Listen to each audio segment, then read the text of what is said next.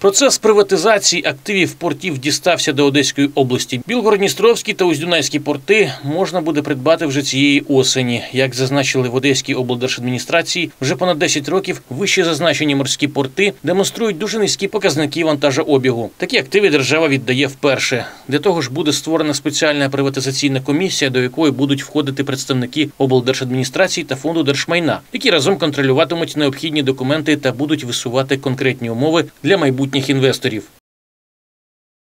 певні, скажімо так, реперні точки. Їх небагато, 3-4, але ми їх визначили, і ми будемо спільно працювати над тим, щоб той інвестор, який купить цей об'єкт, щоб він як мінімум погасив заборгованість по заробітній платі, щоб він як мінімум погасив заборгованість по з податків.